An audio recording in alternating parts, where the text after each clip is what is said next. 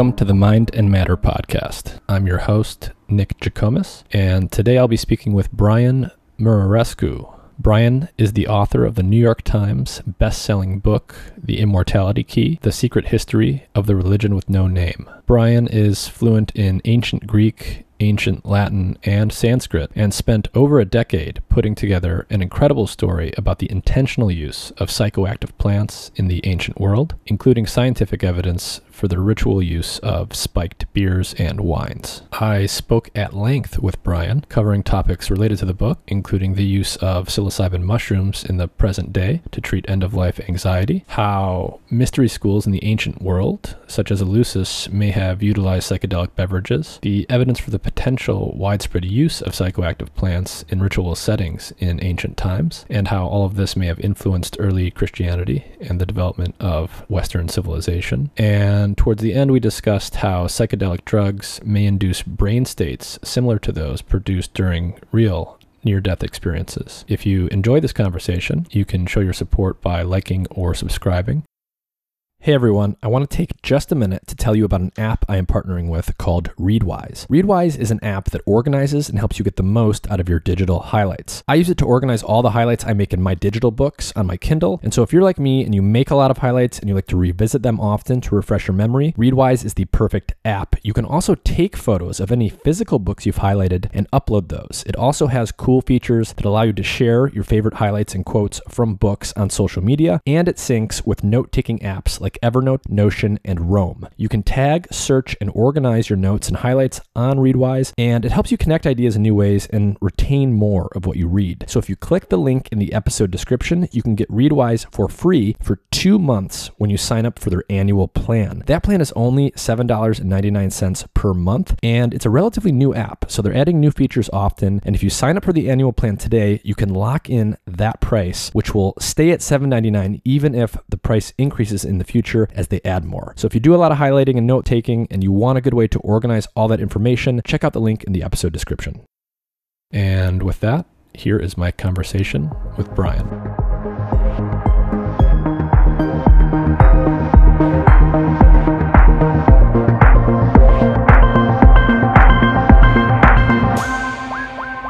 Well, thanks for joining me, Brian. I really appreciate appreciate you doing this and uh, congrats on the success of your book the immortality key so far. I know it's doing very well. Thank you. Good to be here nick.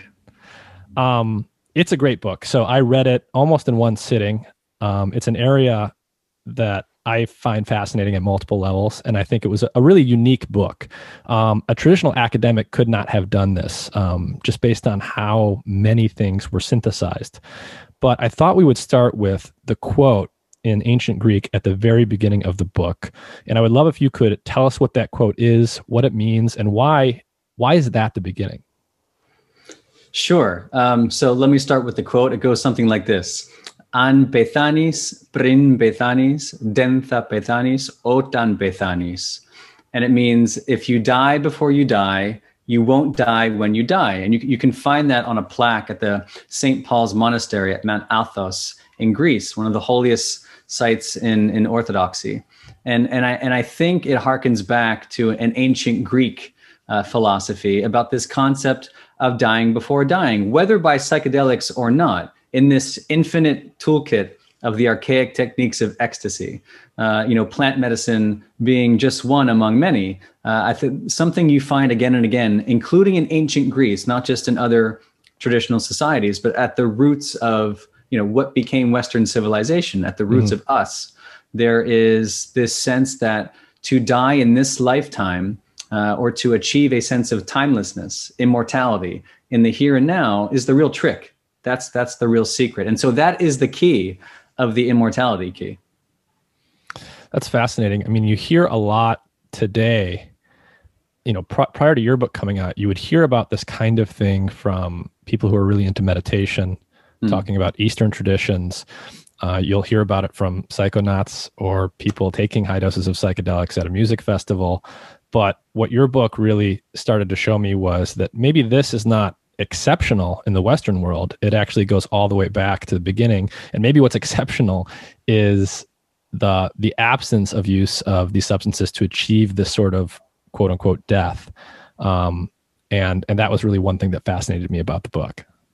Uh, me too. And the, the, reason I started writing the book is because in 2007, I started reading uh, some of the early uh, results coming out of the, the Johns Hopkins experiments mm. uh, around psilocybin, the, the, the compounded magic mushrooms. And again, what you immediately see are people having godlike experiences or mystical experiences or mystico mimetic experiences without getting lost in the jargon, mm-hmm. experiences that transform people um, in six hours in short order on one and only dose sometimes not repeated. Um, like Dinah Bazer, who I profile in the book, an atheist mm-hmm. who claimed that she felt as if she was being bathed in God's love, uh, which is which is extraordinary. So you know, when I started reading those those kinds of results, um, what you see again and again is the, this confrontation with death, and it immediately reminded me of the confrontation with death at Eleusis, mm-hmm. which was the the spiritual capital of the ancient Greco-Roman world, both for the Greeks and for the Romans. You you would go to this sanctuary essentially to overcome the fear of death, or to transcend the body, or to become an immortal. Again, in the here and now, not mm-hmm. not that an afterlife is something to to to wait on or to expect, uh, but that the the the concept of immortality is something to be discovered in the here and now while you're in the flesh and blood so that when the physical body does waste away you transition back into that sense of timelessness. It's not a foreign experience and the, and the experience itself was uh, was the key. So uh what so what was eleusis really and what did we know what had we known for a long time prior to your book and and how does that set up like why you actually set out this investigation Good question. So, so what we what what we know, I think it's fair to say that Eleusis was probably the most famous and certainly the the longest lasting mystery tradition of the ancient world. And my, and my, my fast and dirty definition of a mystery tradition mm-hmm. is a secret set of rites or ceremonies that somehow involve death and rebirth. Again, we're mm-hmm. coming back to this death concept. Thanatology is my favorite phrase for that. You know, the the, the study of death and dying. Uh, and so, in these ceremonies, there would be some sense of dissolving that ordinary mm-hmm. uh, sense of the self and being reborn into a new identity. I mean, taking on new the uh, the identity of a god or a goddess, mm-hmm. actually. And so Eleusis was just one of many mystery traditions, but I say it was the mo- most famous because it was administered by the Greek state. We think for uh, about two thousand years. So from 1500 BC to the fourth century AD, i.e., as long as Christianity itself has been around, mm-hmm. there was this predecessor religion that beckoned to the best and brightest of antiquity, from Plato all the way to Marcus Aurelius. Uh, and what they all did was make this pilgrimage from Athens, 13 miles northwest, to the sanctuary at Eleusis. Uh, we don't really know the sequence of events, but we mm-hmm. know that some kind of potion called the Kykeon was involved, and that it was drunk by these initiates um, once in their life, and only once in their life, did they then have access to the secret of secrets, uh, to the to the mystery of mysteries, which was the confrontation with death and the, the discovery of their of their immortality. It was it was said that there was this vision there, and whatever happened by whatever means, it was this vision, this beatific vision, that convinced these folks that they would live forever or that or that they would never die. Um, and it disappears in the fourth century AD to be replaced by Christianity. So is this so it's happening from around the time of Plato all the way through the time of Marcus Aurelius. were they participating in it? How was this was this something for the nobility? Was this something that a small sect of people participated in? How common was it? I get asked that question a lot. Um, I think I'm, I'm, I'm, I'm confident saying at some point over those many centuries, uh, mm-hmm. there, were, there would have been millions of initiates. Uh, the testimony that comes down to us obviously is from uh, well-known figures like, like Plato and Marcus Aurelius or Aristotle, mm-hmm. who said that you know initiates went there not to learn something but to experience something. Again, mm-hmm. that, that there was something experienced there, and you had to pay some dues to the hereditary families who monopolized these rights. So it, it wasn't a cheap affair and it wasn't necessarily easy. Mm-hmm. And you had to take time off to uh, go through it, at least the, the nine days and nights you would spend in and around the fall equinox on your initiation. But we think that there was lots of preparation in advance as well. So you're, you're talking about some serious time. uh, doing something that is fairly irrational. Uh, you know, you're not you're not paying the bills by by making a pilgrimage to Eleusis. So I, mm-hmm. I don't know how exclusive it was, but technically it was open to anybody who hadn't committed murder and who spoke some Greek, uh, including women. As a matter mm-hmm. of fact, at the beginning, mm-hmm. it, it, was exclusively a women's rite of initiation. So I'm not sure how exclusive or not. I, I think it, it, spoke to lots of people over those many centuries. Mm-hmm. But it wasn't. It wasn't really a, a, secret. People knew that this was a thing, and, and it was available if you wanted to, if you could make that investment. Sure. The fact that it existed was very much not a secret. I think yeah. what, what happened what happened inside the temple dedicated to Demeter, what what happened when you drank the potion, uh, were, were was very much considered secret, and to and to to speak about it was to subject yourself to the penalty of death. Wow. Okay, so they took it. They took that part seriously. Yeah, they, they were they were they were pretty amped up on this stuff. Yeah. Yeah, and so I guess that's why for so long, um, really up until now, um, we haven't known the details there. So we know that something amazing is happening that people are talking about at some level.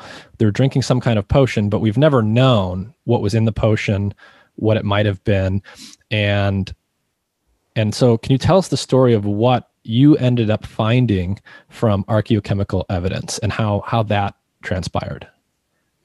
Right. So we, we don't know much. We had all these hints and clues. We we know there's some kind of vision involved, and mm-hmm. you know, none, by the way, none of this is unique to me at all. Uh, mm-hmm. I'm, I'm I'm I kind of follow in the scholarship of Wasson, um, Hofmann, and Ruck, who released this book, The Road to Eleusis, in 1978. Uh, and that, that's Gordon Wasson, the J.P. Morgan banker turned ethnomycologist, actually the guy who discovers or rediscovers psilocybin containing mushrooms in 1955. Them, brings them yeah. to the United States consciousness, basically. Yeah, and unwittingly sparks the psychedelic revolution yeah. of the 60s, to get together with Hofmann, by the way, yeah. who synthesizes LSD in 1938.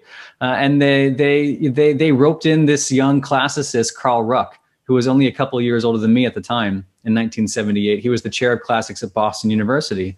And the three of them uh, although the idea had been out there, uh, they weren't necessarily the first, but but they really popularized this idea of a psychedelic potion, a mm-hmm. psychedelic kykeon at the center of these mysteries, and they were excoriated for daring to suggest that Plato et al. were just you know high high uh, high on drugs yeah. when they were uh, founding everything we take for granted today in Western civilization. So um, I understand part of that. I mean, the the evidence they they amass is pretty decent. I mean, obviously Hofmann was a, a kick ass chemist. Mm-hmm. Um, Wasson for uh, the amateur though he was was a you know a pretty interesting anthropologist had traveled the world tracking down information on these kinds of mysteries ancient and modern and and Carl Ruck you know trained at Harvard and Yale like mm-hmm. no slouch at the classics and put together a compelling argument from the literary data but mm-hmm. what was missing was the hard botanical chemical evidence so I spent years and years and years searching these journals and talking to people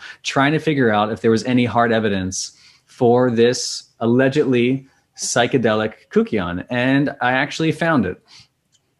That uh, so that's amazing. What were what were the major candidates? I mean, based on their background, you've got Hofmann, who's obviously the guy who synthesizes LSD, which comes from ergot. You've got the experience of others with psilocybe mushrooms in Central America. What were there? Was there a favored uh, candidate compound from from that group? So in in their book, The Road to Eleusis, they they really focus on ergot. Okay. Um, and and by extension, the ergolines, which is to say, you know, the alkaloids that are derived from ergot, not just LSD, by the way, which is where LSD comes from. Mm-hmm. LSD is synthesized from cultures of ergot, which is this naturally occurring fungus.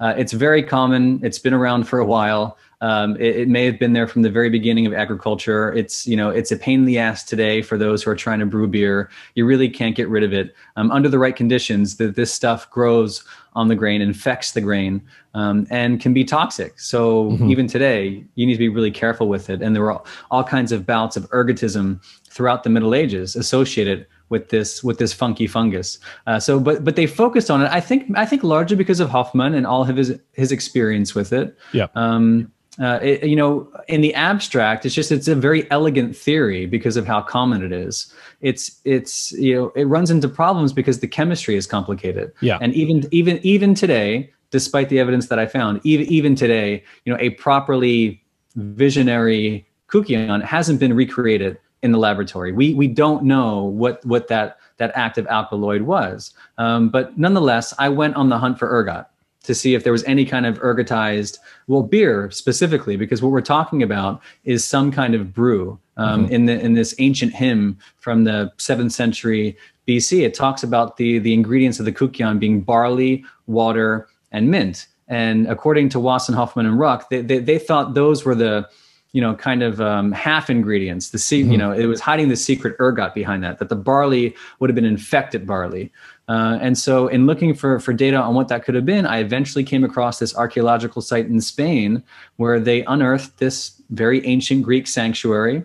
Or at the very least, Hellenistic, influenced by ancient Greeks. Mm-hmm. And in the second century BC, they unearthed, uh, well, in the 90s, they unearthed a, a, a, chalice that dated back to the second century BC, and it tested positive for the remains of beer and ergot, exactly as was hypothesized in 1978. So the very first hard scientific data to, to support this theory in 42 years.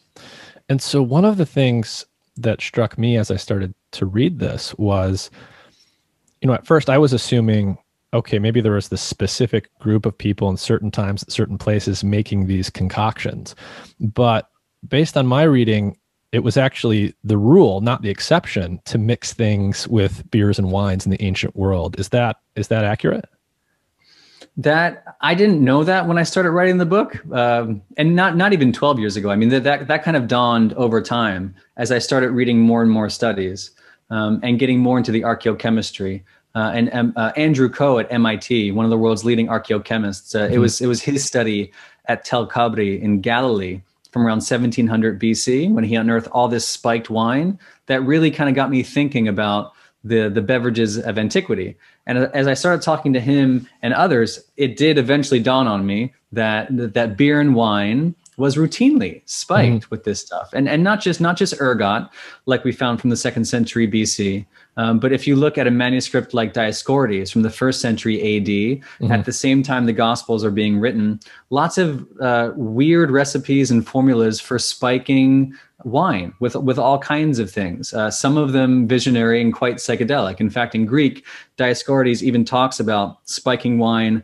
uh, with a kind of nightshade that he calls uh, the thing that would produce not unpleasant visions. I mean, so you know and that's that's as close to psychedelic as you can get. Um, yeah. fantasias. Uh, so well, we know the technology was out there. I mean, it's still an open question how prevalent. I mean, of course, there was table wine and you know and table beer, but um, Pat McGovern at UPenn refers to these beverages as the universal palliatives. That mm-hmm. that even for medicine. Um, uh, you know, you would spike your wine to take your medicine instead of going to the drugstore and popping a couple pills with a glass of water. I mean, the, their their wine was just re- a really versatile product, right? From mm-hmm. nutritional to medicinal yeah. to yeah. you know really religious use. Yeah, and the other thing that struck me was, I, I guess at first when I was thinking about this, I was like, wow, like they must have had, how, how could they have come up with this, learned how to mix things like this? But then as I really thought about it, it actually made a lot of sense. Almost anywhere you look on the planet, right, you've got, you've got people using, performing what is essentially proto chemistry. So even though they don't have a theory of the periodic table, they know how to mix things in precise proportions in a very systematic way. And you know, whether it's ayahuasca in the Amazon or psilocybe mushrooms and peyote in Central and North America or Amanita muscaria in Eurasia, everywhere you look in ancient times, people had quite significant botanical knowledge mm. and they certainly had the time right they mm. weren't distracted by you know having a cell phone in their pocket or all of these things and in many ways this struck me as basically a, a proto science perhaps people knew to a large extent how to mix different combinations of, of plant material together to achieve pharmacological effects, even if they weren't explicitly aware of the underlying chemistry. Um, I think that's a great way to put it. Yeah, I would I would call it a, a rigorous science, even more than a proto science. Mm-hmm. They, they may not have understood. I mean, I don't know if they did or not. It's it's really complex stuff. I'm not sure how much of the chemistry they knew or not. They certainly knew the the botany. Yeah, um, that's what really impressed me about the the, the paper on Tel Kabri that um, Andrew co-released in 2014. There's this great line about how spiking wine with this many ingredients, and I, I won't list them off, but it's it's all kinds of things that you wouldn't ordinarily think would spike wine. Everything mm-hmm. from honey and and storax to terebinth and cypress, uh, and all, all kinds of plants and species. Uh, but you know, to to to spike wine with that many things, uh, they say in the paper, is obviously emblematic of a very sophisticated understanding of the botanical landscape and the desire to really balance out uh, what they say uh, preservation, uh, mm-hmm. palatability, and also psychoactivity. Yep. Um, so the, they they knew what they were doing. Uh, you know, it's it's not easy to do what they were doing, and with respect to you know, potentially toxic plants, especially like those mm-hmm. mentioned in Dioscorides, these nightshade plants like henbane and mandrake, etc. Yeah. I mean, the, the dose has to be precise, right? Yeah, they're very clear. The ancient authors are very clear that to overdose or to get this wrong, uh, like Mandrake, for example, mm-hmm. that if, if, you get your measurements wrong, it's fatal. It is yeah. a fatal potion. So they clearly knew what they were doing. So you find evidence of ergotized beer in Spain, not in Greece. So why? How, how is this? How did you get to Spain? What do you think that means? It wasn't in Eleusis in Greece; it was in Spain. And then where remind us what the timeline is here relative to say the the high tide of Eleusis. Yeah, uh, I have no idea why it winds up in, in Spain. On I mean, which, which, is part of the reason it hasn't been reported before, at least at least widely reported, because it, it's the last place you expect to find the Greek mysteries. So mm-hmm. again, Eleusis anywhere from 1500 BC to the fourth century AD. I mean, the classical period of the figures we're we're talking about is fifth, fourth century BC, so mm-hmm. roughly 2,500 years ago. Uh, the, this chapel in Spain is pretty confidently dated to the second century BC, so not too long after the classical period. Um, I mean, there were still mysteries happening in ancient Greece yeah. in the second century BC, obviously.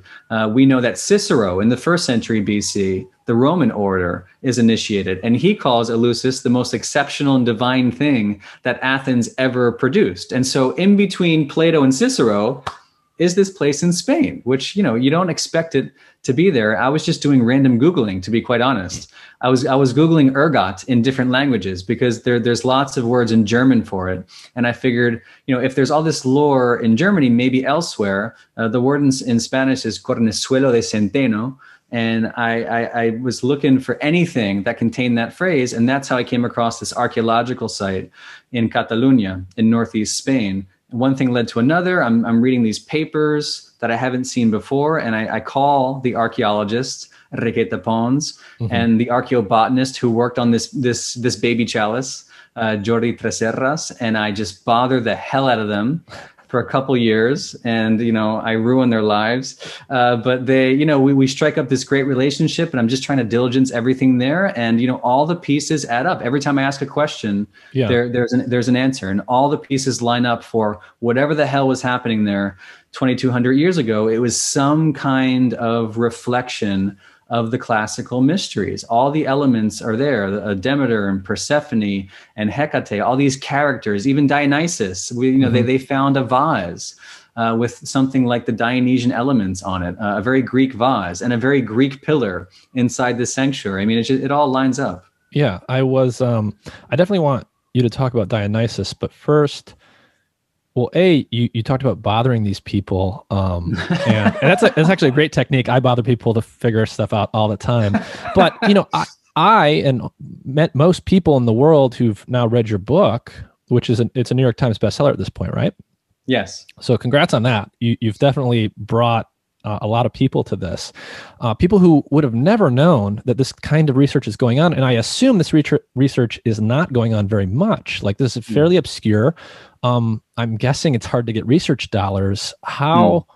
How many people were looking into this stuff and doing what you're referring to as archaeobotany or archaeochemistry? Not many. And yeah. specifically, when I asked Andrew Koh how many folks are out there like him who has you know dual training mm-hmm. not only in chemistry but also classics yeah. like me um, i.e the kind of person who you know doesn't just overlook the kykeon or the idea of a spiked wine i mean he mm-hmm. understands not just the chemistry and testing this stuff but the the ritual ceremonies and the settings and the cultural atmosphere in which these uh, these potions were relevant to these people extremely relevant And when I asked him, I mean, he basically, you know, there, there aren't many people out there doing this.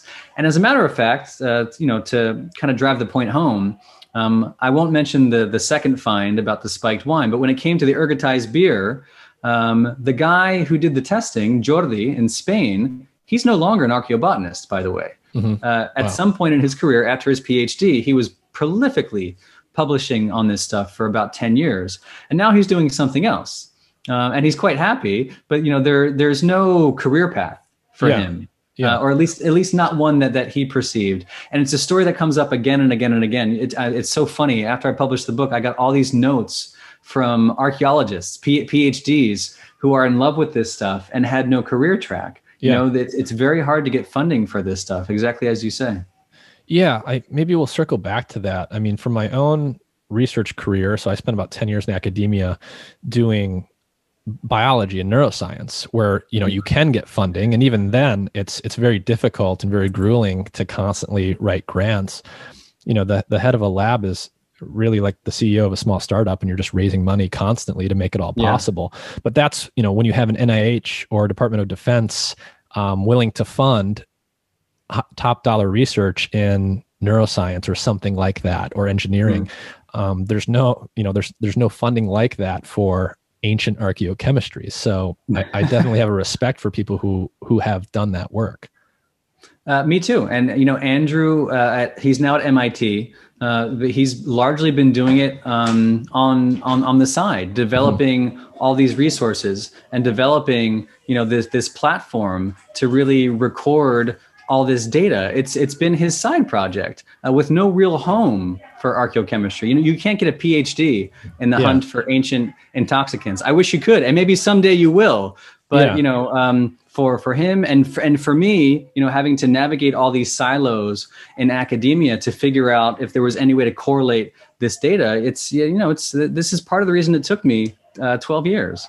Yeah, and you know, another another big piece of the book, one that I didn't see coming at all until I got to it, was you know the reason a lot of this stuff has been mysterious and unknown is not simply because you're talking about you know the need to synthesize all sorts of different stuff across a wide range of time periods you know there's the archaeology there's the linguistics there's the history there's the actual chemistry and botany side of this but a lot of this stuff as we'll come to was actively suppressed and that was something I mean, it clicked for me when I read about the Catholic Church and the suppression of of a lot of this stuff, but that was not something I actually saw coming. Um, and that's something I want to circle back to. But okay, we're in Spain. It's it's a couple thousand years ago. People are using ergotized beer. You mentioned Dionysus. Who who is Dionysus, and how does Dionysus connect to this concept in the book of the pagan continuity hypothesis?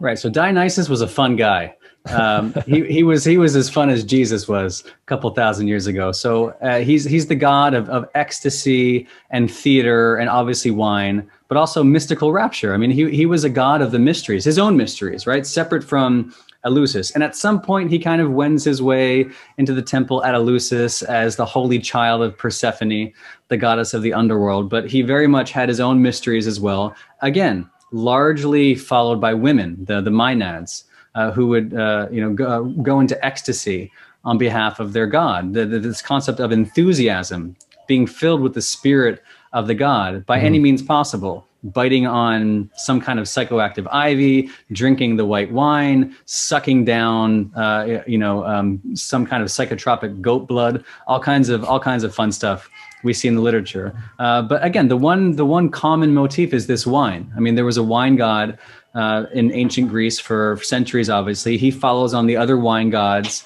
in Egypt and the Near East that I talk about, uh, mm-hmm. Osiris and El, and you can follow this trajectory right into Jesus. And this is this is the pagan continuity hypothesis. Not that not that Jesus is some kind of amalgamation of all these Near Eastern fertility gods and gods yeah. of wine, but if you specifically focus on the connection between Dionysus and Jesus, it's just one thing after another. You know, the sons of God, born of the Virgin, who introduce the vine into their mysteries, who die and are resurrected. I mean, mm-hmm. uh, it's just this laundry list of motifs uh, that pops up. And that's particularly meaningful to me because of the Greek connection.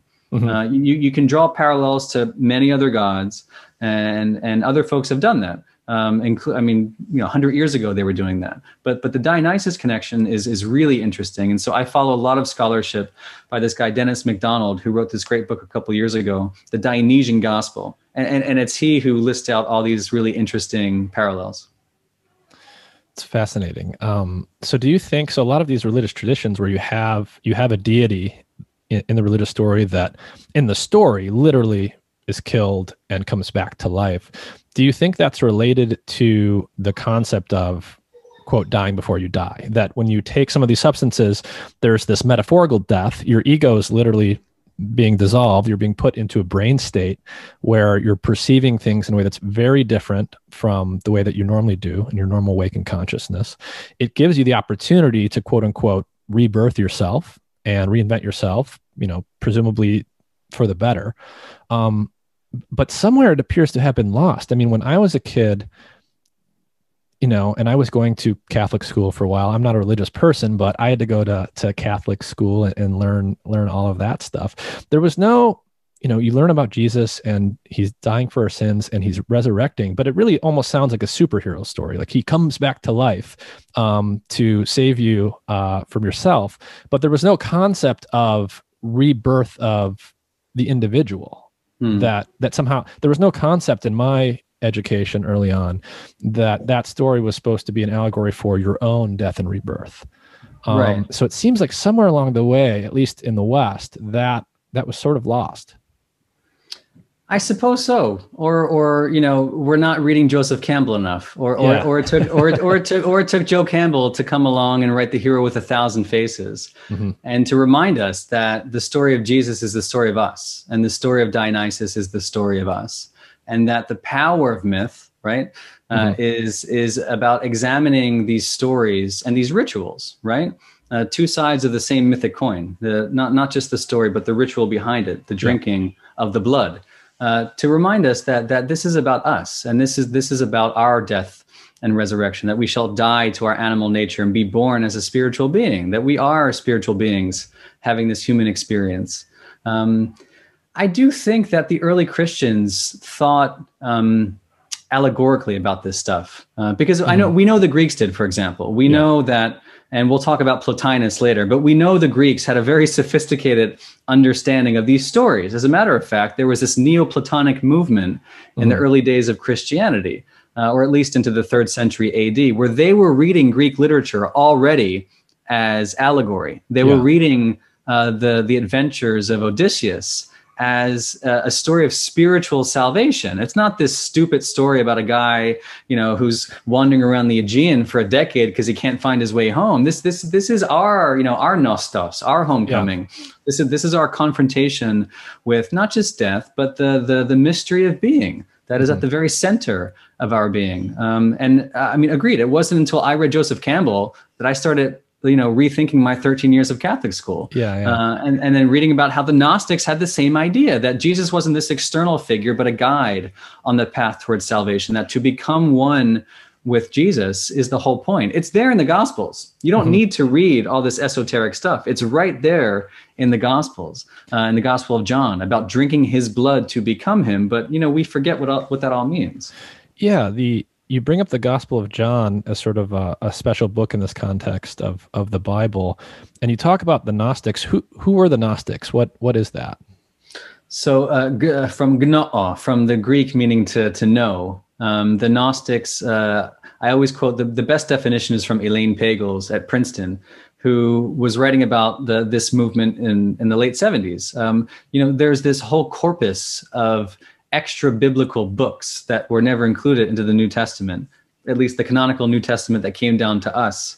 Uh, there are these other books called the, the Nag Hammadi corpus that's dug up in Egypt by accident in the 1940s. And here is this whole new version of Jesus.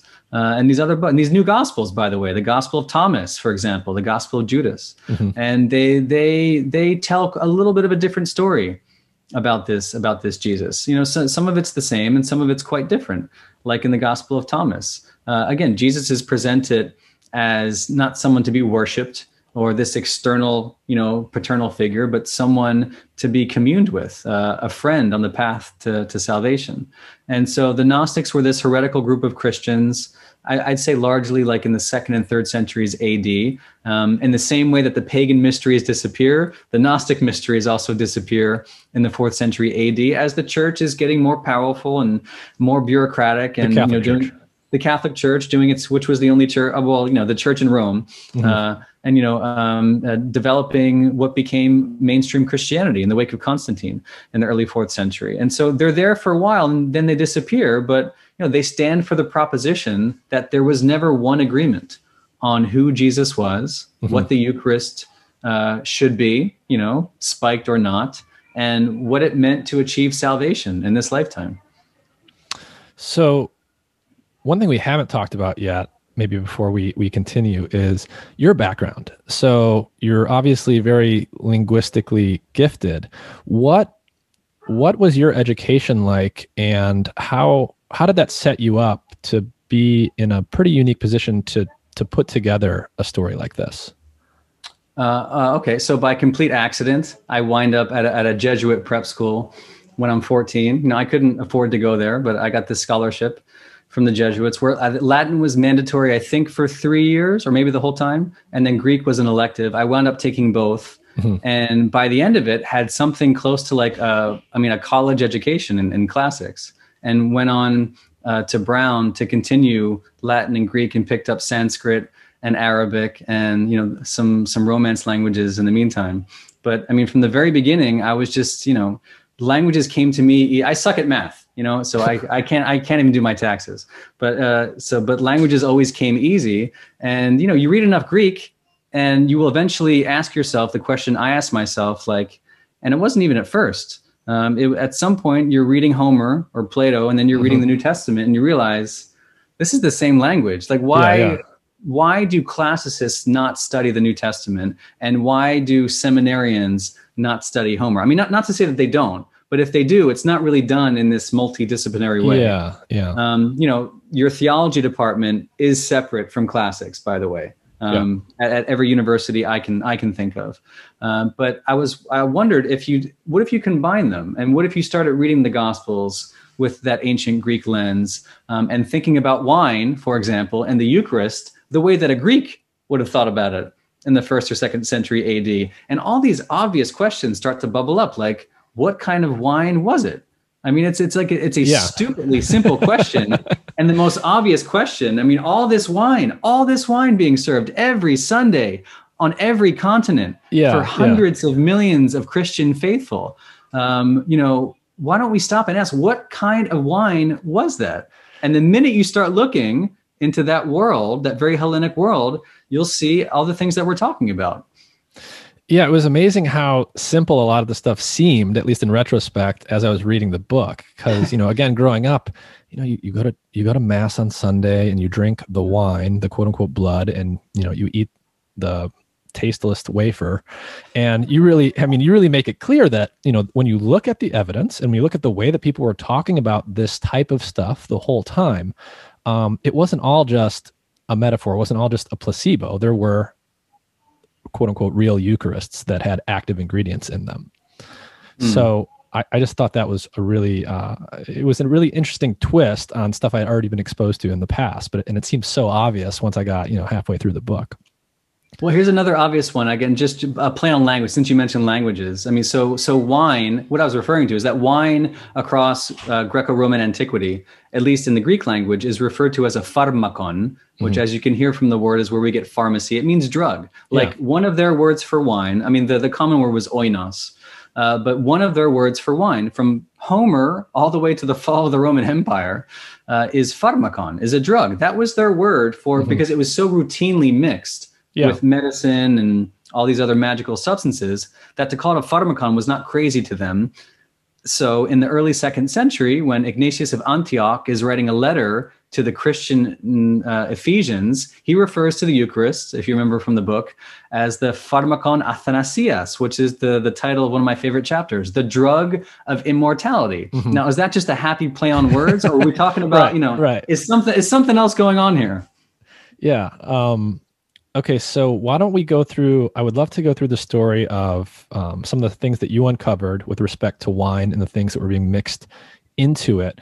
And maybe that will sort of be a natural lead in to what you described as the original war on drugs. So, so what did you find with respect to wine? Let's dwell on that for a while, and then let's let's let everyone know the story about how and why a lot of the stuff was um, actively suppressed for so long. Okay, so the, the, the quick history of wine is that I, I don't think we have the um, the material evidence that it's quite as old as beer. In the book, I talk about um, you know potential finds of beer fermentation as far back as 12, 13,000 years ago in the Epipaleolithic when we go from hunting and gathering mm-hmm. to settled life. So uh, we goes, have early it goes at least that far back. At least, exactly. Yeah. That, that's that's what the, the early indicia is that it's 12, 13,000 years. For some reason, unless I'm mistaken, wine doesn't go quite that far back. At least the the Eurasian evidence that we mm-hmm. found, uh, what what I was seeing was more like 6,000 BC in Georgia. Not too long after that, at the Haji Firuz Tepe site, um, in modern day Iran. Um, uh, Pat McGovern found uh, wine that was spiked with terebinth. So, again, one of these things that would preserve the wine and prevent it from spoiling uh, into, into vinegar, basically. Mm-hmm. And then, you know, fast forward, there was another interesting wine find um, from the, the tomb of Scorpion I, roughly 3150 BC in Egypt just like the Tel Kabri wine from you know a bit later 1700 bc it's wine that's routinely spiked mm-hmm. uh, with all kinds of funky plants and herbs uh, and then so fast forward all the way to the first century uh, ad and at the same time that that, that manuscript from Dioscorides is being written, his Materia Medica, that talks about all of these plants and spiked wines. Um, I, you know, I was digging through these archaeobotany journals looking for something like the ergotized beer, and weirdly, at the exact same time, more or less, uh, published in the year 2000, was this other, you know, underreported discovery of uh, a really funky wine uh, from outside Pompeii, which is also interesting because it's the part of Italy that was calling to the earliest Christians um, in Magna Graecia, which was Great Greece. So another, you know, territory just um, uh, rife with with the Greek mystery cults.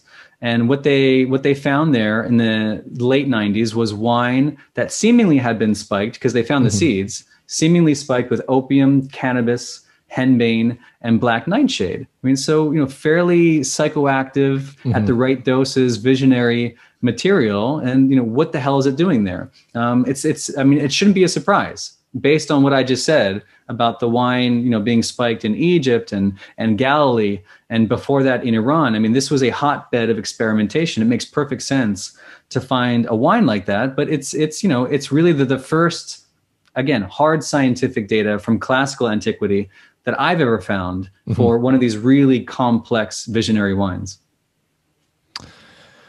So as we go forward in time, you know, there's there's a lot in the book around um, witches. So this is another area where I got re-educated. So my only notion of witchcraft and witches before reading this book was just you know the standard stereotype of a witch, an old lady in the woods, mixes stuff together in a cauldron, flying brooms, Halloween. That I never really looked at it the way that I now look at it, which is, you know, these these were people, in this case, women who had botanical knowledge that was extensive and they knew how to mix things together. I didn't know that they were mixing literal potions in the ways that you get into. They were making topicals. They were making, you know, a variety of products for lack of a better term where they were consciously brewed and constructed to have in some cases psychoactive effects. So can you maybe tell the story of of witchcraft and, and what was going on at the time that the Catholic Church is really starting to rise and really persecute the people that were doing these types of things and, and why they were doing that. Yeah, it's that nefarious combination of women and drugs that I call the, the, the constant thorn in the side of the Catholic Church. For for a long time, um, they were they the witches were relatively uncontroversial. Uh, I say in the book that you know the, the the church certainly had its hands full with the Crusades mm-hmm. and other and you know and and other endeavors in Europe. But then by about the 14th, 15th centuries, uh, the witches are, are becoming a problem. um, and specifically in Italy. And during the Inquisition, it would eventually result in, you know, the, even the most conservative estimates are something like 90,000 prosecutions and 45,000 executions. The figure is probably much higher than that.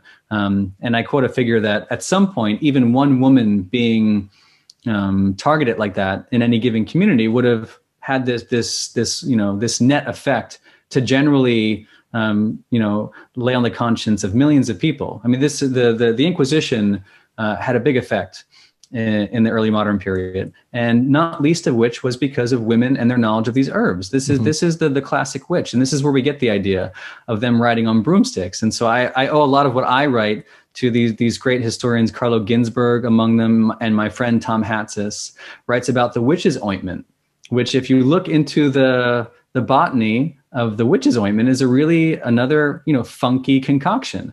Uh, in fact, the Pope's personal physician Andres Laguna in 1554, uh, he actually lists out the ingredients that he thought spiked the famous unguento, the witch's ointment. And he talks about the same kinds of things that I was seeing in that farmhouse, in that pharmacy in uh, outside Pompeii. Things like henbane, and mm-hmm. black nightshade. And he also mm-hmm. mentions mandrake uh, and hemlock. The idea that these went into this green ointment that allowed women the the power of flight, um, and that you know we think through some kind of lore that they would smear this onto the broomstick, uh, wedge it between their legs, and thereby absorb these toxic alkaloids to give them the sensation of flight. It's just it's really fantastic stuff.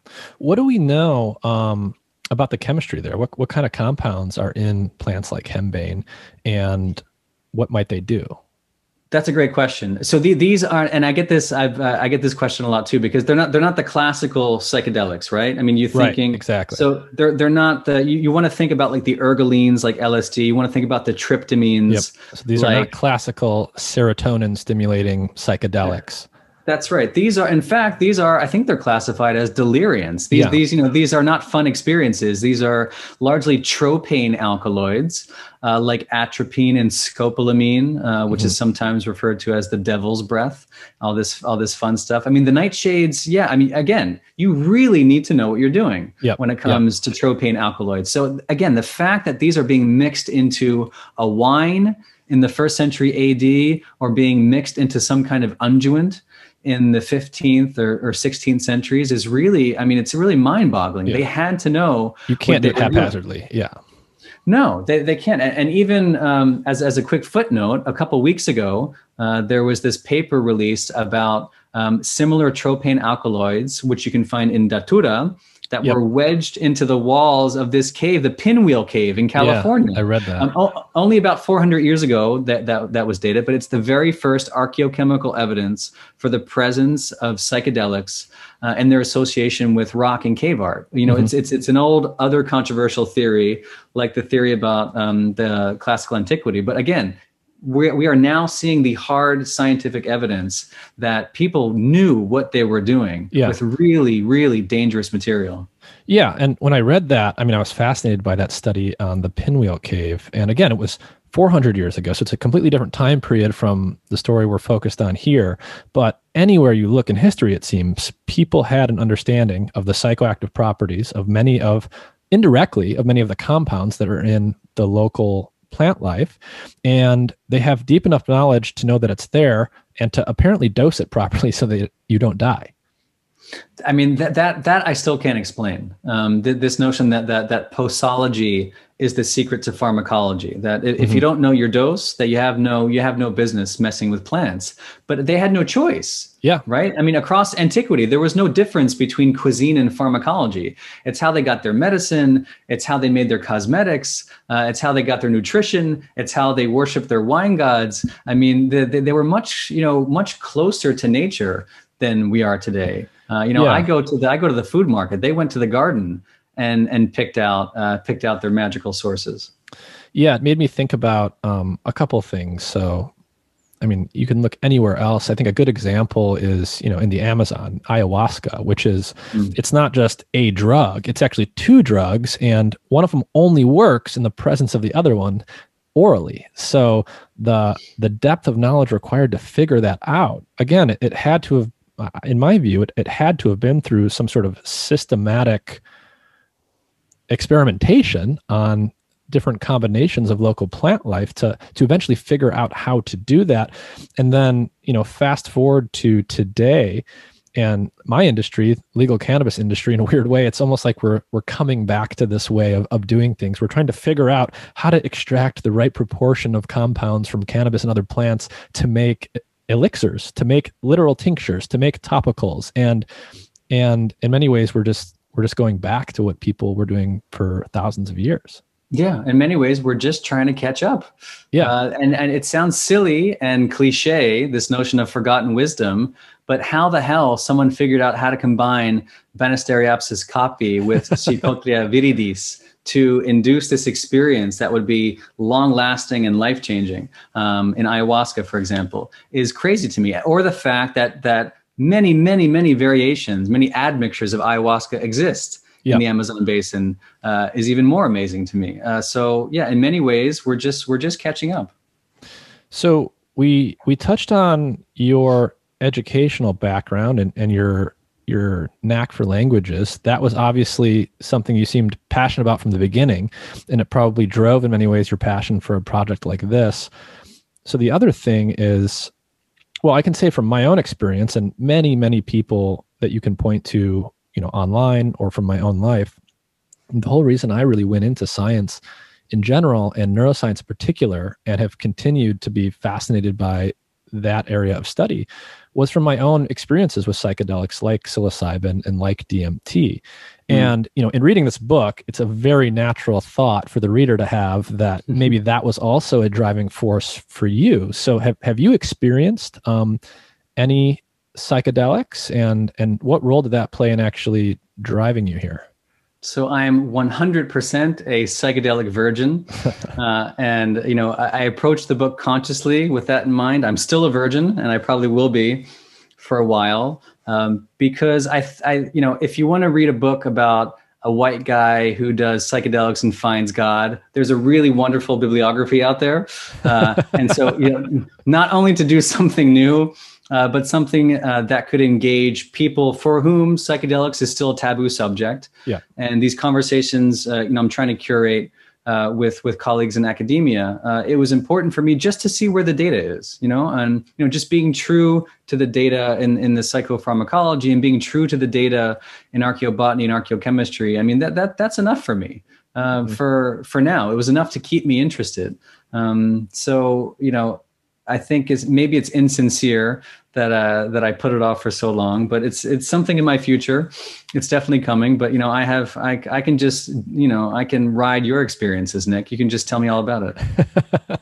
well, I mean, the first thing that someone will tell you there is you know you can't you can put words to this stuff to some extent, but you know you can't download the experience into someone else just by talking about it. Words really really it really goes beyond words. I mean that both figuratively and literally, you know, on a high dose of psychedelics, you are clearly in a different brain state. The patterns of activity in your brain are mm-hmm. very different from the ones you observe in normal waking consciousness.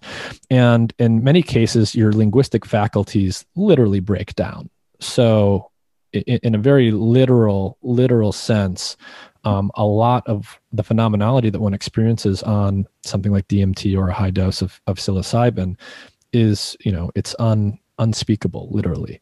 Mm. Um, but nonetheless, everyone that has those experiences, I mean, pretty much without fail, is deeply moved by them in some way and almost always for the better, even when they are difficult experiences. And speaking from my own experience, and then, you know, tying it to something you just said, um, and, and that you really go into a lot in the book is you know whether it's the eleusinian mysteries or or any of these other experiences that people were having they were not they were not haphazard experiences. They were curated experiences. People who had expertise in how to make these potions people who had extensive experience in these in ingesting these things were curating the experience for other individuals. And i think that's that appears to be where we're moving today. If you look at a lot of the research that's being done in psychedelics, mm. there's a lot of work not just to study them and their mechanisms of action and, and the clinical trials that are going on,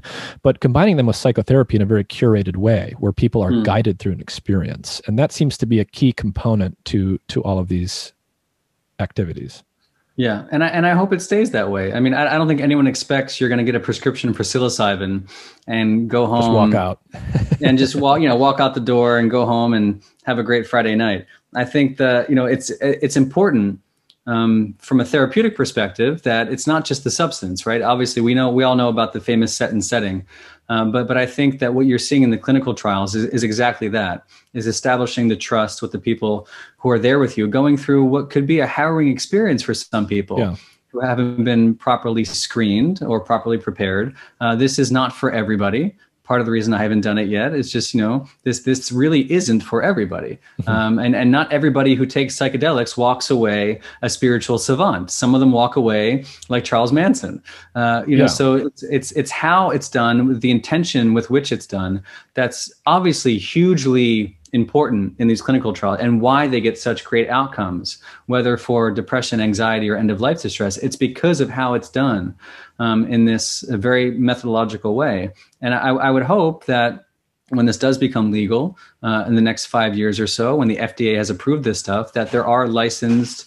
Uh, you know centers out there like we're probably going to see in oregon in yep. two years i mean that's clearly going to be a model for the rest of the country and will um, you know, pretty uh, pretty easily rewrite the mental health care industry. Uh, it's, everything is going to change over the next few years, and as long as we maintain standards, I think it's a very a very powerful thing. What happens beyond that in the realm of religion and for society at large, I'm not quite sure yet. Yeah, there is um there's this wonderful quote you have in the beginning. You just mentioned what will happen in the realm of religion and how that will mm. interact with this whole psychedelic renaissance that's happening um, there's this great Huxley quote from the beginning. I think I have it here where he says, quote, My own belief is that though they may start by being something of an embarrassment, these new mind changers will tend in the long run to deepen the spiritual life of the communities in which they are available. The famous revival of religion, about which so many people have been talking for so long, will not come about as the result of evangelistic mass meetings or the television appearances of photogenic clergymen. It will come about as the result of biochemical discoveries. Uh, I just thought that was a really cool quote. Um, what? Why did you put that in the beginning from Huxley? And what? Talk a little bit about Huxley and what was going on at that time before we sort of went into the psychedelic dark ages again that we're just emerging from. Yeah, you and I, and and probably most of your listeners, got the short end of the stick with the war on drugs. Um, and again, not that I don't, I really don't do drugs, but just uh, you know, as a, as as a as a matter of cognitive liberty, uh, it's mm-hmm. just it's really it's really strange the era that we were born into, post post Nixon, and not normal and an extraordinary exactly. waste of, of resources. Uh, if it's one thing that doesn't belong in the criminal justice system, it is drugs. Uh, mm-hmm. That does not that doesn't cure your addiction. If you are addicted, if you're unfortunate to be addicted to drugs, going to jail is not the the, the best way of kicking your habit. Uh, so we got we got that all wrong, obviously, and it, it's it's coming to an end in Oregon and elsewhere. Uh, cannabis uh, uh, on on the mm-hmm. international level was just descheduled. Uh, which is really interesting. So um, before that, you had folks like Huxley and Alan Watts and Huston Smith, perhaps the greatest religious scholar of the 20th century, doing LSD and psilocybin and mescaline and having profound experiences and being able to talk about it yeah. like a bunch of scholarly gentlemen. And you know, the, the quote you just read was written in 1958. Um, I mean, it's just it, it's incredible. And is it possible that after when, when the fog of war finally lifts, uh, is it possible that we can read Huxley's words and think about a responsible way to incorporate this biotechnology into some sense of whatever religion becomes in the 21st century? I mean, I, I, don't know. I would love to think that it's possible. Not every Sunday. We're not we're not dosing the communion wine, but you know, in the same way, Eleusis was a once in a lifetime experience. In the mm-hmm. same way that Dinah Bazer, one of the volunteers in the NYU psilocybin experiments, talks about her one and only dose of psilocybin being like being bathed in god's love is it possible that under the right curated conditions uh, we can envision the, these biotechnologies enhancing faith or re-enchanting a generation uh, and introducing them to the concept of, of a spiritually led life for the very first time. Um, I mean, this is how religions grow, by the way. It doesn't happen. Yeah you know overnight and it doesn't happen like as just abstract theories whatever was happening 2000 years ago to the greeks and early christians was something visceral and profound that convinced them they had found the essence of life which is clearly missing today yeah i mean one of the um one of the things that's undeniable about psychedelics and i think you know part of their power and and, and the the real impact that they can have over people is you know, unlike other methods of spirituality, you know, if you want to call it that, you know, you don't have to believe anything. You don't have to meditate in a cave for 12 years to get to the state that you might get to if you do that meditation for 12 years. You don't have to sweep the ashram for for 10 years. You don't have to learn Greek and, you know, read, you know, the entire corpus of literature um, you don't have to undertake those gargantuan efforts to see that certain states of consciousness are possible. If you take the right dose of LSD or you take the right dose of psilocybin or you take the right dose of DMT, you are going to have an experience that's very, very different from normal waking consciousness. And you can definitely see why people often talk about these things in spiritual or even religious terms. And it's very interesting to think about the way you know if more people start having experience with psychedelics the interactions that we'll have and the way that will cause um, religious practices to evolve and so in thinking about the the interaction between organized religion and psychedelics where where do you think that could go and maybe we can get there by first describing uh, a little bit more on what actually happened in the other direction with the catholic church so they really started making some heavy, heavy, and frankly violent efforts for I think hundreds or thousands of years to really stamp this stuff out. So how did that end up playing out, and what was what was the the threat to the church as they perceived it? It's hard to tell, and and I think there there were probably several threats, and I think I'm on the record saying that I even sympathize with the church fathers uh, because I can I can understand the need to nation build at a time in the fourth century AD when there isn't much separation between church and state. Mm-hmm. Um, you know their their priority was nation building and developing some kind of orthodoxy that people could get behind. You know these secret rites and and and and magical sacraments don't lend themselves well to organized religion. In fact, it, it's the whole point. Um, you know these these are these are secrets that are that yeah. are passed from generation to generation. Um, so I part of me understands the need to curate some kind of organization, right? And and what happens with any organization is that the the original the founding vision tends to become diluted over time. I, mm-hmm. I, I quote the Benedictine monk uh, David Steindl-Rast at the in the intro of my book, who talks about this this this conflict, this tension, this this constant tension between bureaucracy and mysticism is that cl- clearly th- these religions are born on visionary experiences. Judaism, Christianity, Islam, it's it's all baked into the the, the foundation myths of of where they come from. Uh, and and at some point, you know, uh, the brother David says uh, the pipes get rusty and begin to leak, and that and that that flow from the original source slows down to a trickle. Mm-hmm. Um, and I think the the goal is to try and reinvigorate that, to always keep that alive, to keep that mystic sense alive. Not to say there's no need for organizational structure or even doctrine and dogma, but the idea that that God, as Joseph Campbell would say, is an experience to be lived. That what we're not looking for is a meaning of life, but an experience of being alive. Um, I mean, isn't there a way that we can curate that experience and still have respect?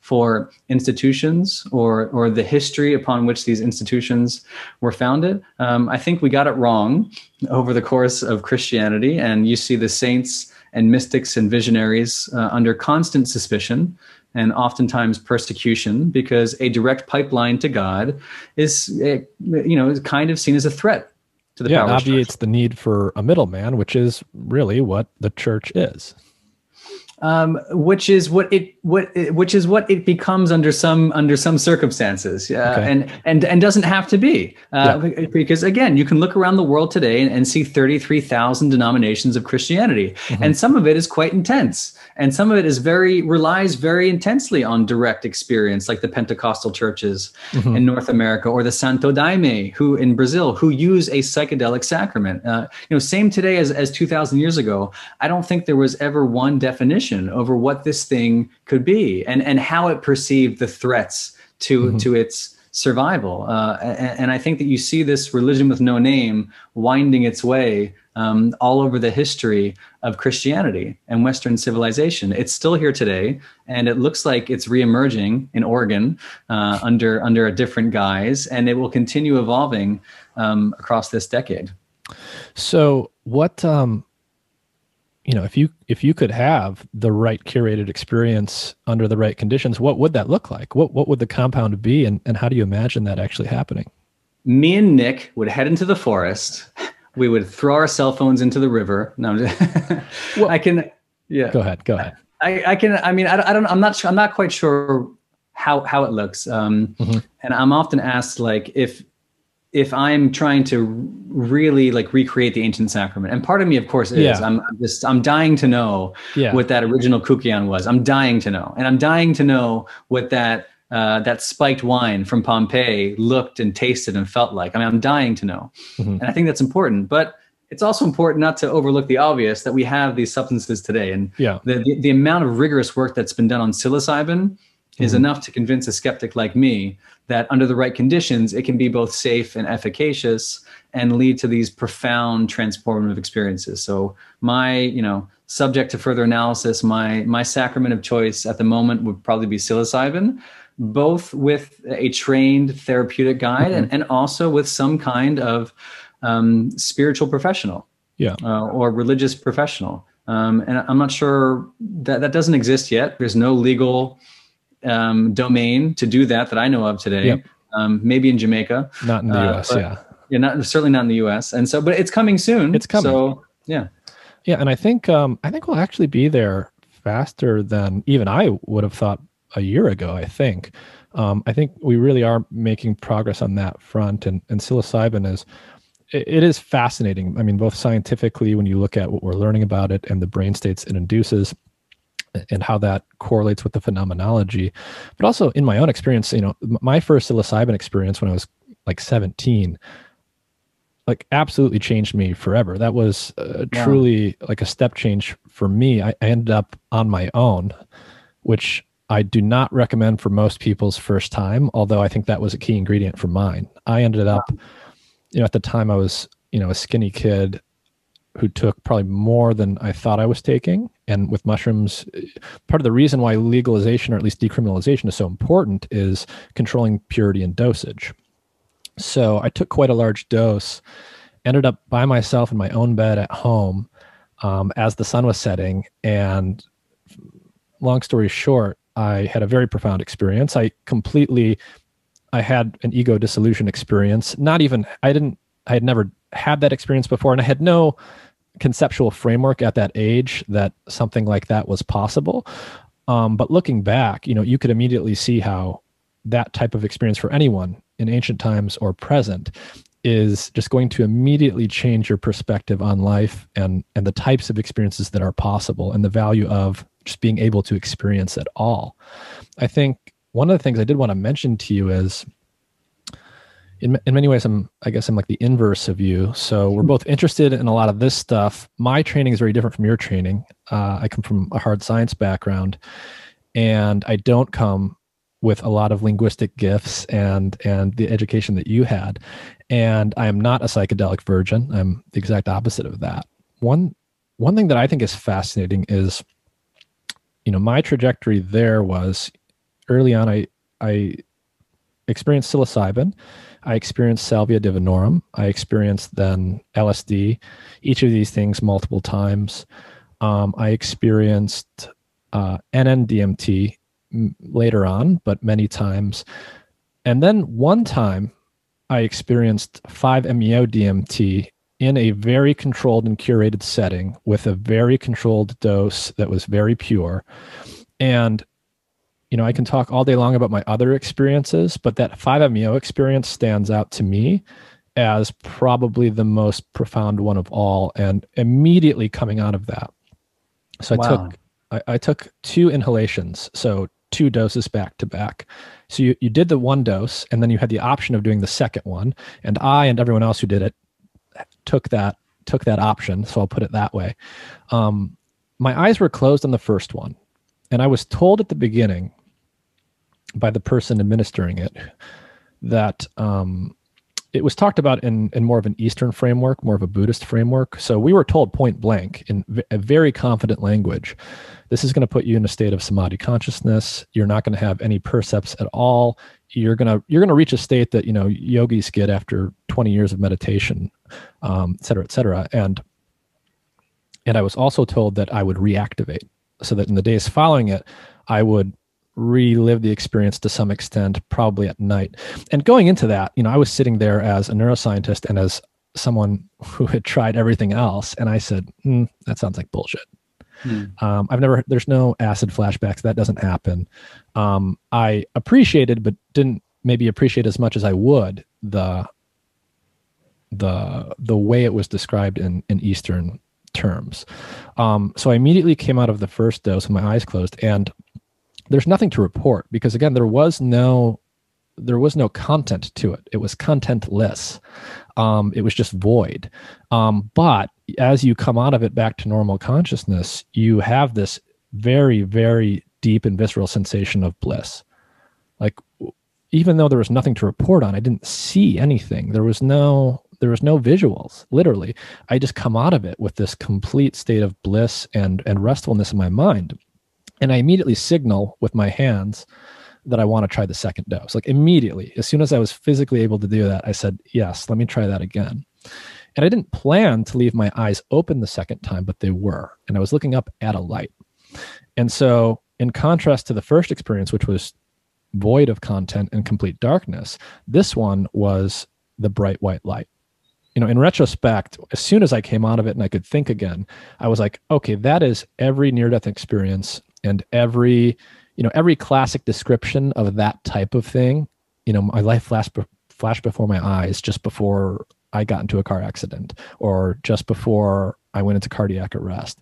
Um, every, you know, if you hear people talk about a very high dose LSD experience, I think that's the, the brain state you get to probably with a high dose of a lot of these substances, but for 5-MeO, hmm. it it put you there immediately and to an extent that I had not experienced with any other psychedelic before. And I don't have any concrete evidence for this, but phenomenologically, when I look back at a lot of the things that you talk about in your book and a lot of the ways they're described, 5-MeO is the compound that really jumps jumps to the front of the list for me. I was very interested to see if you would find evidence of any 5-MeO usage in the book. And you know, there's evidence historically, I think, from toads and other things that that maybe maybe it somehow got into some of these concoctions, but um, is probably harder to come by. Wow. I mean, that's it. First of all, that that's a phenomenal story. I feel like I have nothing of value to add from here on out. Uh, I could just listen to to stories like that all day, which is part of the reason I wrote the book. I love listening to stories like that because you know what you're describing. I mean, is, is it fair to say that you would consider that a mystical experience? Yeah, I mean, again, I'm not a religious person, and there's no need to to bundle these experiences together with you know overt religiosity um, if if that's not your cup of tea. But yes, I would. So as a non-religious person, I think anyone that would describe themselves as religious or spiritual would certainly interpret this type of experience in that way. And even if you're not like me, like I I think it's fair to call it a mystical or spiritual experience because it you know it fundamentally alters your state of consciousness. You have no your ego does die, quote unquote. It obviously comes back it's reborn, um, as they say, but it puts you into a state that makes you appreciate the ability to just be aware at all much more. Hmm. And don't get me wrong, as I was coming out of the 5-MeO experience, I did have, you know, absolutely crazy and beautiful, colorful forms. I immediately, as I was coming out of it as well, thought about people like Plato and the theory of forms. And I had the I had the notion in my mind like, oh, like maybe you know, my mind went there. I was like, maybe some of those early thinkers describing things like that had something akin to this. This is, of course, before I read your book, so it, it kind of made me dwell on that even more. Mm. But, but yes, I would call it a, a mystical experience. You know, even Roland Griffiths at Johns Hopkins, he's as straight laced and rigorous a scientist as you're going to find. You know, he talks about the mystical type experience, and he, he talks about it purely in academic and and frankly quantifiable terms as you can. So so again, these these experiences are powerful. You can describe them as mystical, but I want to make it also clear that that, that doesn't necessarily need to come bundled with, you know, metaphysical claims that are beyond what science can describe. So then I only have one follow up question, which is because now I'm fascinated, given given your background. Um, you know, I, I, I agree. We get lost in in the in the in the jargon.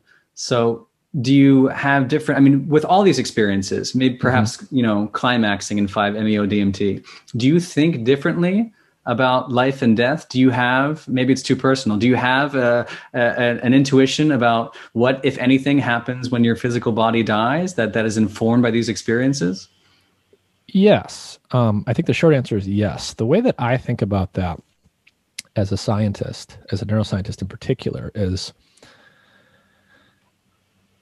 so let's describe a little bit of what we know about the brain states that one can measure when people take something like psilocybin or a classical psychedelic.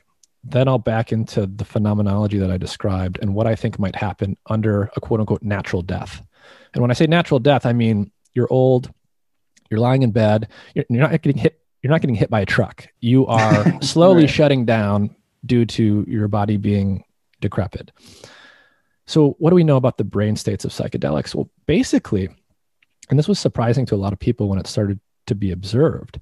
Um, you might naturally think, oh, with all the pyrotechnics and hallucinations that you get, there must be all kinds of extra activity happening in the brain. And to some extent, there might be.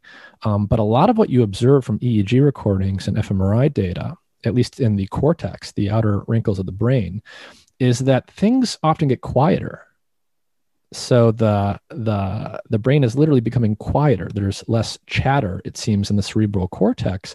And when you start to think about it from you know maybe an eastern perspective you know a meditation master um, and when you start to actually look at the data on meditation and neuroscience the brain states that you see from people in a deep state of meditation are at least on a high level, not unlike the brain states you observe when people are given fairly large doses of psilocybin.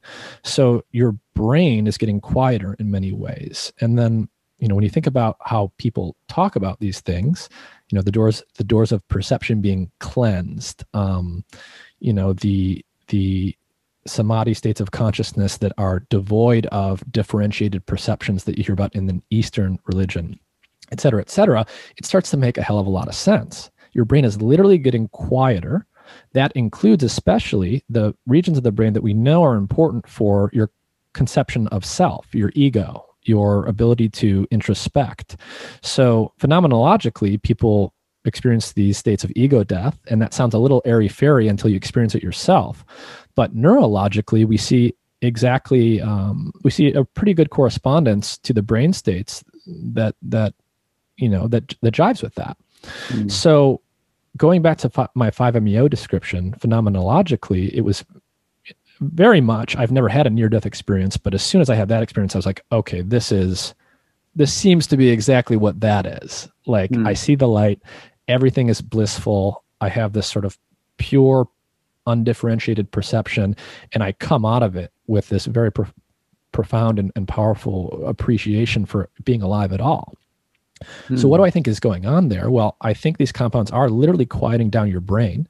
They're obviously quieting down parts of your brain that do complex things like linguistic thought, perception, et cetera, et cetera. They're clearly not shutting down the rest of your brain, which is good because you survive these experiences. So, your brainstem circuitry that's responsible for keeping your heart beating and your lungs filled with air is still going. And that makes a lot of sense because, you know, the more complex cognitive functions of the brain are more expensive, right? That's why they're relatively unique to humans. Mm. Um, and that's why those things probably shut down first. So if mm. you start to think about a natural death experience, you know, think by analogy to walking outside in the wintertime. with no coat and, and no gloves, your fingertips are going to get cold and your toes are going to get cold and numb way before other parts of your body because, you know, we've evolved to have these built-in robustness mechanisms, meaning that your your body knows keep the heat on your vital organs and shut heat off from the other areas first. Because if you lose a couple fingers, that's unfortunate, but you'll survive. But if your heart stops beating or your lung stops breathing or your brain shuts off, then the whole the whole body is over. So there's an order of operations. The things that are absolutely essential are maintained and, and shut off last. So when you think about a natural death, an old person on their deathbed, and you think about, you know, everything's sort of slowly shutting down, your, right, your kidneys are going to shut off before your heart, right? Mm-hmm. And in your brain, there must also, I would, I would expect, be an order of operations. The very metabolically expensive and sophisticated neural networks in your cortex that allow you to speak and do calculus and you know logically reason are going to shut off before the circuits that are responsible for low level perception and breathing and vital functions mm-hmm. and so i think in a near death experience or an actual death experience as those higher order brain areas shut off but the other ones are still online you have this quieter brain you have a lack of normal perception of the ego and subject object distinctions and so forth, but you still have a certain level of quote unquote pure conscious awareness. And I think psychedelics and meditation practices and things like this simply put you in a state that is not unlike that. Hmm. So that's what I think is going on. And so I think, you know, coming out of those experiences for me, I I now know or appreciate more that when it does co- come time for my own brain to shut off permanently, um, I know that that can and will be one of the most blissful and important experiences of my life. And in in those seconds or minutes in between having a fully aware and differentiated state of consciousness and death, you will be in an undifferentiated state, meaning you're not having specific perceptions. There is no linguistic thought, and there is no perception of space and time. Hmm. So I'm not saying right you live forever and there's a place that you go that's really fun to hang out and everyone you knew is there having a great time. But in those moments before you truly expire, there is no sense of time. And while you're in that perception, there's not only no you, there's no center to the experience, but there's also uh, it feels like forever. There's so, no not you either. Right. So there is this, it's just interesting to think about in that way. And I, I do quite strongly believe, based on the neurological data that we have and the phenomenology of these experiences and the way people describe them, that, you know, when you go into altered states, whether it's with a drug or yoga or whatever, it is I think putting you into a brain state that's not unlike what happens when your body is shutting down. And that's mm. why there is this deep connection between near death experiences and mortality and spirituality and psychedelics. You would have been quite welcome on the steps of the School of Athens, my friend. uh, Plato once wrote that uh, true philosophy is nothing else but the practice of dying and being dead. This, this is why the Greeks were obsessed with thanatology the study of the death and, and dying process. I mean, th- there's been a whole conversation about thanatology. Because I mean, what else? What else is there? How do we forget? You know, when you wake up in the morning, that you will die someday. I think it's something that should be um, meditated upon um, mm-hmm. every single day. Because I think if you do do that, I mean, you having experienced that, me not having experienced that through 5-MeO, but through other experiences, mm-hmm which is the conversation I rarely have. But but clearly, I've I've had my own near death experiences, which is why I'm really attracted to to psychedelics and how they imitate that and how they imitate perhaps the natural dying process. To focus on that, to to study that, and to make that the epicenter of your scholarship, uh, to me, is true ancient philosophy because I think what it does is it connects you back to the real world. Mm-hmm. Um, you know, without having to preoccupy ourselves with the fear of death or, you know, um, or, or being so, I don't know, scared of it in such a way that we have all these unconscious, uh, you know, anxieties that, that, that arise and all these ways that we distract ourselves in life to ever, you know, to prevent ourselves from thinking about our mortality. I think to have a, a healthy relationship with death um, puts you in the here and now. And in my case, you know, lets me love my family more, lets me try to be as present as I can and enjoy uh, the little things. Uh, this is what Cicero said about mm-hmm. Eleusis that to, to live with joy and to die with a better hope. It's both. So mm-hmm. it's it's also having it's not only having no fear around death, it's also living with joy and living fully present and, and appreciating this this this fleeting moment in timelessness that mm-hmm. we seem to be inhabiting. So, um, what, if you're comfortable talking about it, what what kind of experience were you referring to? so, uh, without getting into details, I when I was five, I had a, a near death experience. My older brother uh, knocked me in, in the forehead accidentally mm-hmm. with uh, with with a golf club, um, and had one of those uh, interesting near death moments. Um, moments that I found uh, somewhat replicated in, in, intense periods of meditation mm-hmm. when I was uh, a teenager and in my early 20s. I mean, things I wasn't necessarily looking for, um, uh, things I didn't know how to interpret at the time, uh, but not unlike the all the chatter just kind of quieting down. It doesn't happen very often, uh, but when it does, it's it's the kind of thing that that you never forget, right? Right. Um, and so, without having done psychedelics, when I read the literature, when I listen to you, and you know the hundreds of other stories I've heard over the past decade, it's just it's it, it becomes clearer and clearer to me that we're all talking about this same toolkit of archaic techniques. And uh, again, if that can help us both live with joy and die with with better hope i mean what else is there worth studying in life? I, I completely agree. And i know that we only have a couple minutes left. So you know let's say that you know some some wealthy individual or some government agency or potentially the vatican says you know what? We we really there's more to be discovered here and and what one thing I loved about your book uh, is you uncovered a lot, but there's still clearly a lot to be discovered. So if if you had the resources and you had the team that you would you know the all star team of archae- archaeologists and classicists and so forth, where where would you be looking and what would you be looking for to to continue this?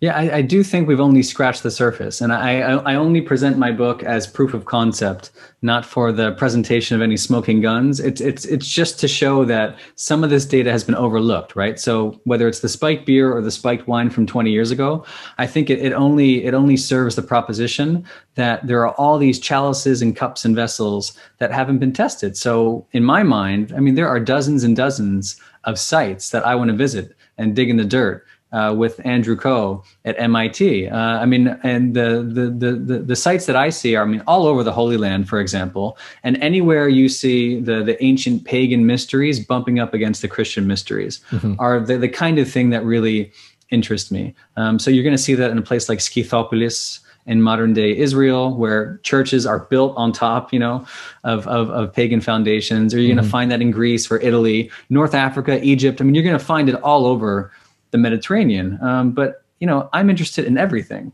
Uh, I'm interested in ancient Judaism too. Uh, I'm interested in Islam.